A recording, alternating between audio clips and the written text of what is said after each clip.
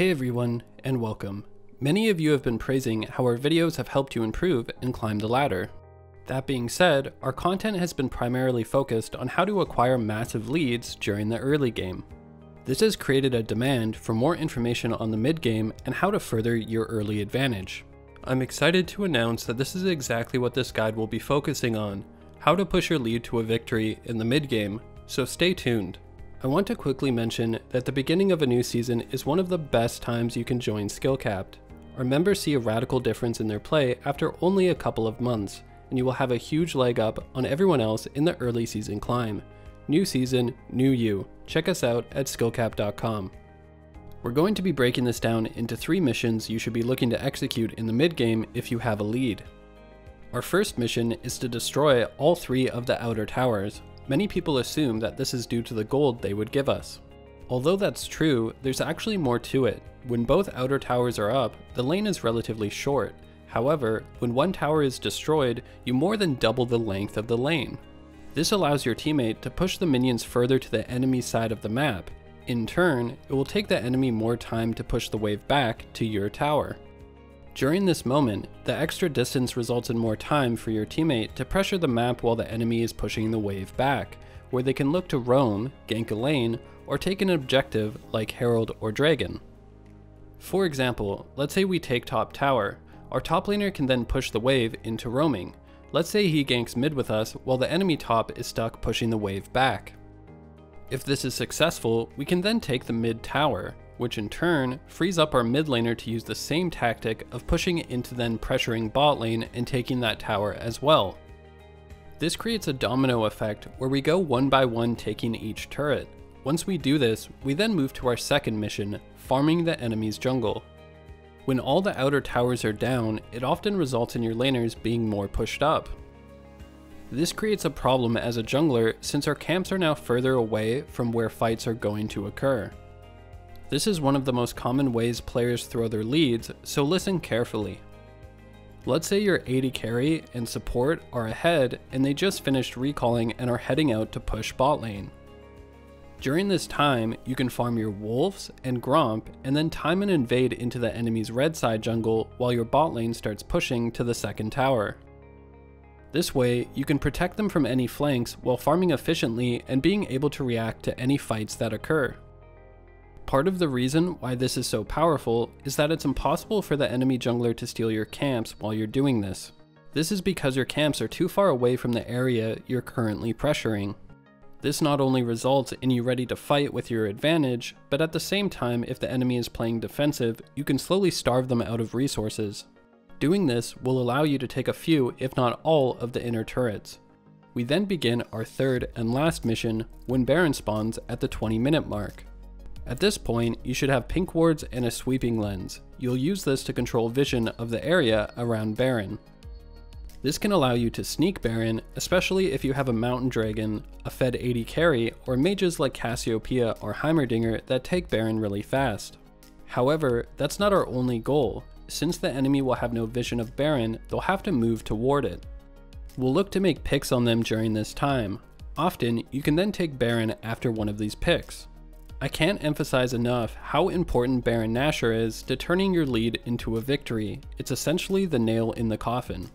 A really common mistake players make is acquire a large lead into the mid game, take everything except the inhibitor towers, and then suddenly they find themselves stuck in limbo, not knowing what to do next.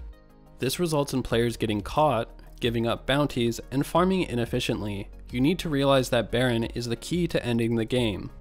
Alright, let's quickly recap our missions in the mid game. Mission 1 is to take all of the outer towers. Mission 2 is to farm the enemy's jungle while being nearby your laners that are pushing an inner turret.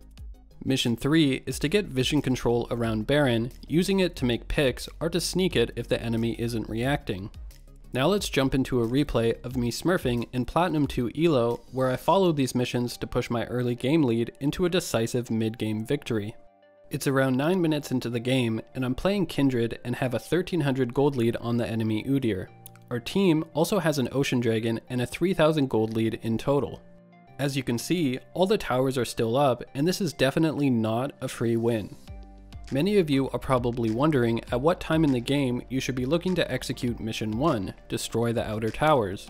Usually, you want to do this between the 10 and 15 minute mark. Any earlier and the turret plating combined with low death timers will often make it too difficult.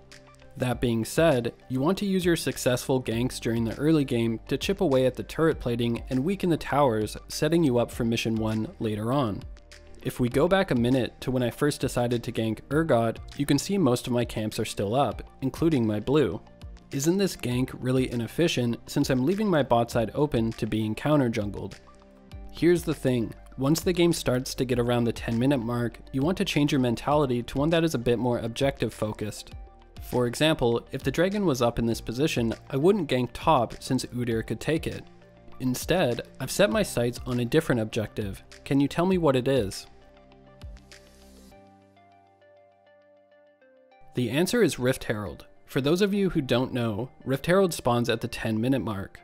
I really can't overstate just how valuable Rift Herald is. Mission 1 is to take all the outer towers. Herald perfectly aligns with this strategy.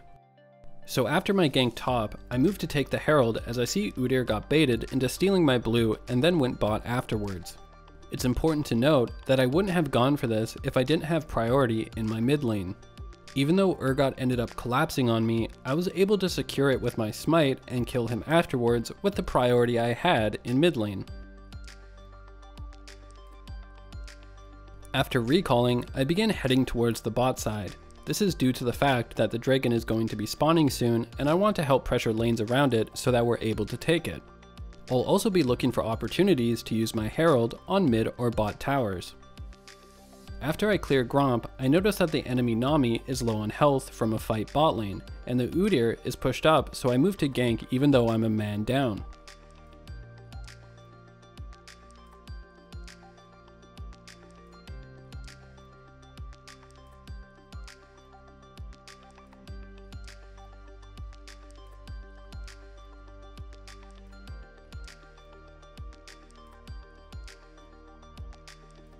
I'm able to make a few outplays and with the help of Thresh, win the fight. At this point, what do you think I should do next? I place the Herald to break the bottom tower and then move to solo Dragon since I know that we just killed 3 enemies and Vayne is getting back to lane to help push with Thresh. I could have made the mistake of staying and pushing with Thresh. Although it may seem like a minor difference, these little optimizations add up over time and make a big difference.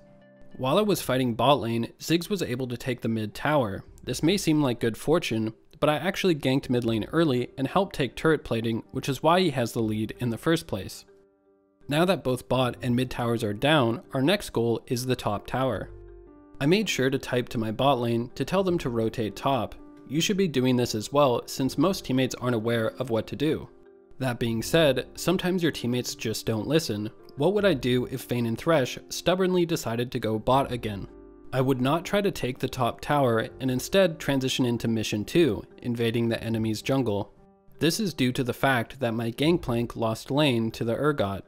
Instead, I would be looking to pressure Udyr's bot side jungle to hover near both my mid and bot while they pushed their lead. Fortunately, my bot lane listened, and so when a fight broke out in the river, we were able to easily win with our man advantage.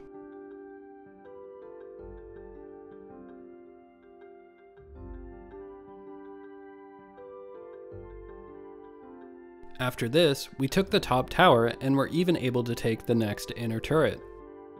We now begin mission 2, invading the enemy jungle. As I'm recalling, Vayne and Thresh are overextended for no reason. It's extremely common for your teammates to get caught during this phase.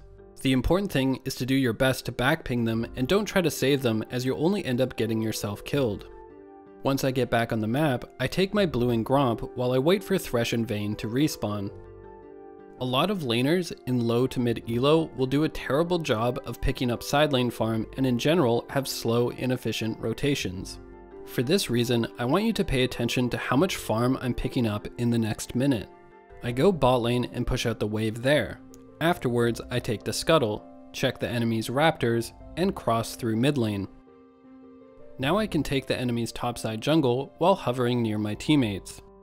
As I leave, I make sure to spam back pings as sieging is a terrible idea since Ziggs isn't with us. I then pick up the mid lane farm. Pushing lanes like this is great not only to generate gold and experience, but it also applies pressure on the map and forces the enemy to respond to the wave. For example, in this position if the enemy players start chasing my teammates, I can go for the open inhibitor. With the pressure I generated from the pushed wave, I now look to clear the enemy's bot side jungle. This prepares me to not only take the upcoming dragon, but also take the camps when they respawn soon.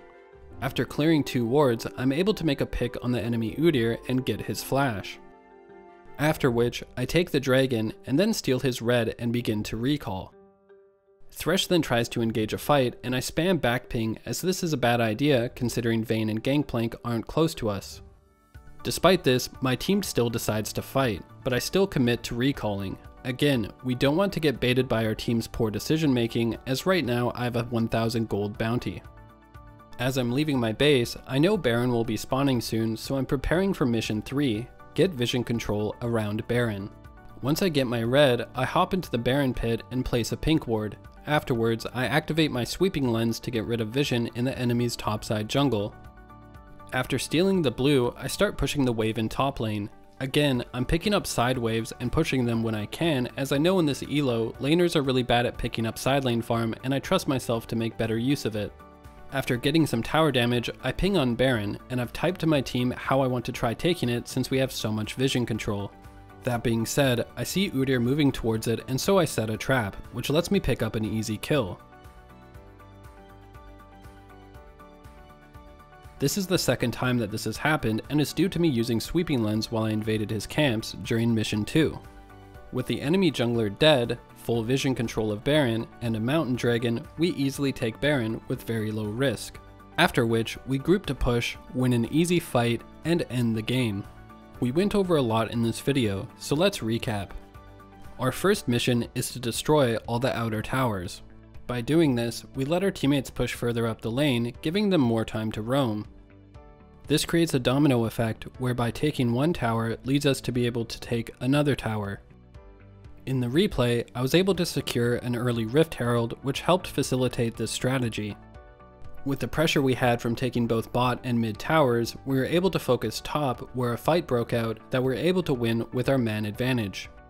Once we destroyed all the outer towers, we moved to mission 2, where we invaded the enemy jungle, hovered near our pushed laners, and used our sweeping lens to clear any wards.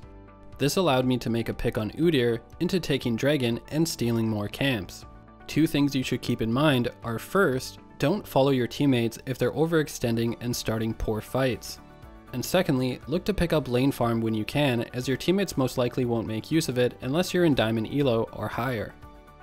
We then executed mission 3 and placed a pink ward at Baron and swept the enemy's nearby jungle.